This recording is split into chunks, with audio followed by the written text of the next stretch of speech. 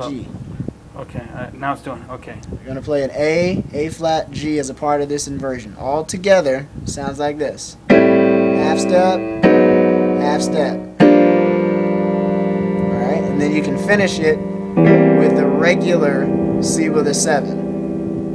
Okay. And then go to the F.